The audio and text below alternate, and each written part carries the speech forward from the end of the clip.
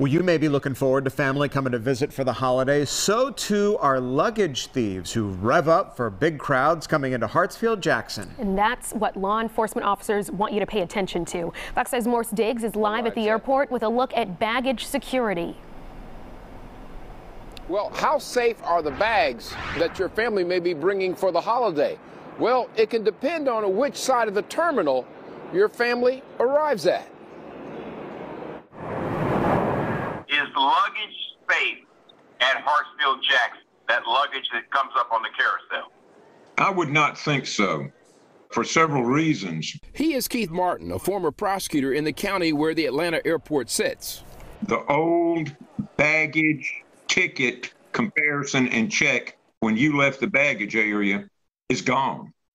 There's no check of people leaving to see if that ticket matches the bag they've got with them. Surveillance cameras have picked up individuals who, according to police officers, have taken bags that did not belong to them. We showed you this man, Damian Parms, who on the day before Thanksgiving allegedly grabbed a bag, searched the contents, and took a single electronic item. Christmas is coming, and the former prosecutor has a warning. They're going to be carrying gifts with them. They're going to be carrying it in the checked luggage, probably, and those things can be valuable gift cards, jewelry, smaller compact electronic devices. It's a boon for a thief. What is the story with airport bag security?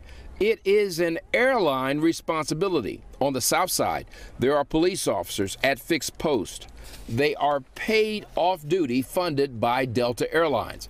Now, look at the North baggage claim. On consecutive days, a noticeable absence of any visible security. Keith Martin says that imbalance is a problem. Now, since we shot that footage in mid afternoon, I went back in there and I do see some airport security officers in those green vests. They're now over on the north side giving some coverage, and there's an increase of police coverage overall. So that's been a change since the video that we shot this afternoon. From Hartsfield Jackson Airport, I'm Morse Diggs, Fox 5 News. Yeah, good to hear that authorities there are being so